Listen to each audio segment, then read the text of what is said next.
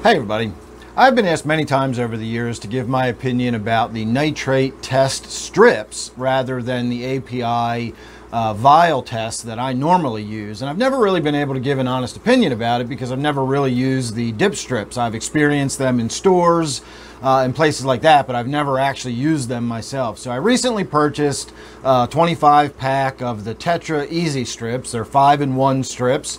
Uh, I wasn't too concerned about the four other tests on there. I was only focused on the nitrate part of the test, but I did go through a whole package of them, so I now have at least some sort of opinion about whether or not they're any good, whether they're worth buying, etc. So today we're going to talk about the three basic uh, aspects of the comparing these two tests. We're going to talk about the accuracy of the test, we're going to talk about the convenience of the tests, and we're going to talk about the price of the test and the cost of them.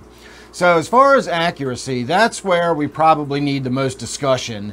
And that's because there's sort of a subcategory between accuracy and then precision.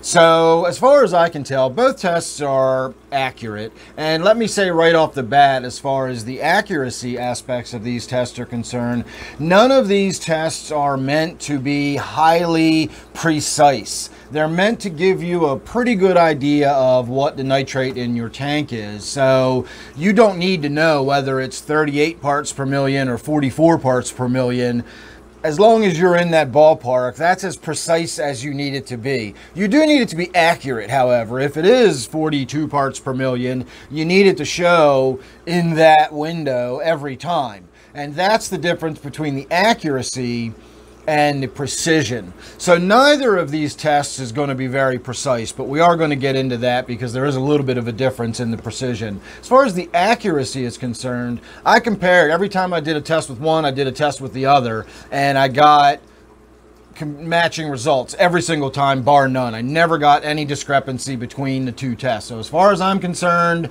and all the different comparisons I've done on various tests over the years, pick your poison as far as when it comes to choosing a nitrate test. They all are basically the same when it comes to accuracy. The only thing you really get that's any different from test to test is that level of precision. How easy is it to tell the difference between 40 parts per million and 60 parts per million? Again, that's not necessary but if you really want that level of precision, then the, the test you're using does make a difference. And so what I found with the dip strips is they're not very precise, but they are. And what I mean by that is that the graduations on the test key, the little color code you look at, go from 0 to 20 to 40 to 80 to 160, and it's all the same color. It's just varying degrees of the same color. It's red and a, a, zero test is pale, and then it just starts getting redder and redder and redder. It's I know you might start saying it's pink, but where do you draw the line between pink and red? It's all varying shades of red, and you just have to decide is it closer to 20, is it closer to 40, where does it fall in between? And so while it is accurate, it's not very precise. Eh, but after using it for a few times, you honestly don't really even need to look at the card anymore. You can just see how red it turns and you can get an idea of whether you think that's still way down in the sort of pink end of the scale or is it getting up into the red end. And you can use your own judgment again after you've done a few tests and compared it a few times you'll just be able to dip it, look at it, and see how red it gets. The same way I do with my API test kit, where you mix the drops together and you shake the vial up, and you get that color change in the vial. So, on that note, with those tests, you do get an actual color change of sorts. You start out as a pale yellow and then it gradually gets darker and darker and goes up sort of through an orange color and then eventually turns red. Now, this technically is still just getting darker and darker from the yellow, but it does change from a yellow to an orange to a red, and that can give you almost like that sort of stoplight effect of yellow is safe, orange is getting close, and red is dangerous if you want to look at it that way. And so for the API test kit, it does give you a little more sense of precision when you're looking at it. And when you look at the scale, it starts at 5 parts per million, then goes to 10 parts per million, then 20 So you get two gradients before you even get to 20, and then of course it doubles to 40, 80, and then 160, just like the other test does. So if that makes you feel better, uh, seeing that you can see a little more precision. Like again, it's six of one, half dozen the other as far as I'm concerned. But if I had to give it to one or the other as far as precision goes, I would have to give it to the API test kit as far as being just a little easier to read if down at that low end of the scale. If you really do care whether it's 10 parts or 15 parts per million, then the API test kit is going to be a little easier to read than the dip test. As far as accuracy, again, they're both just as accurate. The one gets the little bit of a plus for being a slightly easier to read test. Now, as far as convenience, I shouldn't have to explain that the dip test just blows the API test out of the water. You dip it and you literally can stand there and look at it for 45 to 60 seconds and your test is done. You can see your color and you can throw the thing away and you're done. With the API test kit, not only do you have to store two separate bottles, you've got to store a glass vial. If you drop that glass vial and break it, you have to replace it. You have to fill it with water, make sure it's the perfect, you know, right amount. You got to take one set, count out the drops. You got to take the next vial, shake it vigorously for 30 seconds. If you don't shake it properly, the test won't come out right. You got to count out the proper amount of drops. You got to shake the vial. You got to wait you know, uh, uh, five minutes for the vial to change color. And then when you're done, you've got to wash and rinse the vial and put the vial away. The dip strip, you dip it, you look at it, and you throw it away, and you're done. So when it comes to convenience, the dip strips just blow the competition out of the water. You cannot get easier than doing that. And then as far as price goes, I was kind of surprised about this. My initial uh, response was that the obviously the API um, you know liquid test is going to be much cheaper because you get 90 tests in one of those kits, and they're only $12 for one of those test kits on Amazon. And when I looked at PetSmart and I looked at the Easy Strips that they sell there, again the the Tetra brand Easy Strips, and I'll put links down below uh, to all this stuff. I do get a little piece of that pie if you do use that link. I get a little uh, bit of that purchase but I don't, I'm not sponsored. I'm not getting any kind of endorsements or anything like that for uh, this video. These are just my personal experiences with these products.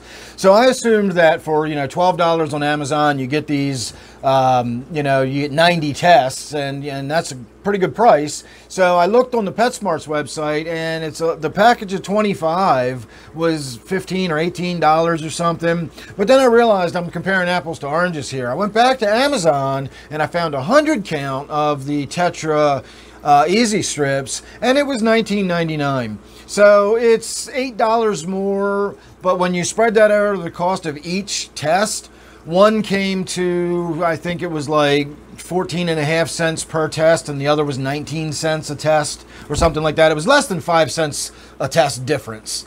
So ultimately, it's not that big a deal. And I wound up purchasing the 100 test strips. So I'm kind of done with doing all those. Now, I still will use them, I'm sure, and I'll make comparisons and do all that kind of stuff. But as far as like buying more of the API, I just, I don't really see the point in it. Those, just, just to get an idea of what's going on in the tank, just to take that dip strip, dip it in the test and look at it. And again, I'm not even talking about the fact that there's four other tests on that strip too. You're getting four other tests. Now, one's for chlorine, which I don't have. Um, I think pH and carbonate hardness or water hardness or something are the other ones. Again, it's it's not tests I would regularly use, but they are there and they are additional tests that come with the kit. And again, a dip, you look at it and you throw it away and you're done. So for a few extra cents, to me that bit of convenience is worth the few extra cents per test. And remember, I not only have a lot of tanks, but I also have a YouTube channel. And so I'm doing tests way more than a normal regular fish keeper would because I'm doing content for my channel and I'm doing tests so that I can shoot videos about it and stuff. If I was just maintaining my fish tanks, I'd use probably 20% of the amount of actual test material I go through because I have a YouTube channel. So if you've got two or three tanks and you want to just spend $15 at PetSmart and pick up a 25 pack of those test strips, that 25, you know, that'll probably last you a year who cares about the extra couple dollars? To me, that convenience is really worth it. So I would say, on the balance, that stop messing around with all the bottles and the drops and all that kind of stuff, and just use the test strips. They're they're just as accurate, if not quite as precise, But again, we don't need precision. You need to have an idea of what's going on in your tank. You need to know whether it's 20 parts per million or is it 40 parts per million. And that level of precision really is good enough. And you can also see that it's darker than this, but it's not as dark as that and it just falls somewhere in between. Imagine if you stepped on a scale and it only went in 25 pound increments it, you know, the scale would still fall exactly where it's supposed to, but you'd have to guesstimate where it is between this 25 pound marker and this 25 pound marker and, and figure out where it is in between. You'd still get that actual precision. It would just be a little more difficult to read because you don't have the actual number graduations on there. You can think of it like that. So the test strips or like that scale that has these big wide markers and the API test kit has a scale with slightly closer together graduations. It makes it a little easier to, to give you a, a more precise reading. That's the only difference. And if you really think it's worth all that extra hassle, you know, to get that level of extra precision, then then that's your money. You can go ahead and do that. Um, but from now on, I think I'm just going to stick with the strips. So that's my two cents. I'd be interested to hear uh, your points of view. And I've heard a million times that the API tests are not that accurate. Um, I disagree with that. I can shoot another video talking about that, but I'm not going to get into that now. If you're interested in that, let me know, and I'll talk about that later in another video. So thanks for watching this one. Uh, don't forget you can subscribe to my channel, become a member now. Um, and I do accept the super thanks, which helps me pay for all these tests and everything that I do all the time. Uh, that does cost me money out of my pocket. So anybody that wants to send me some super thanks to show their appreciation. That's always appreciated on my part. So thanks again for that. Thanks for watching. Make sure you're subscribed, and I'll see you real soon in the next one.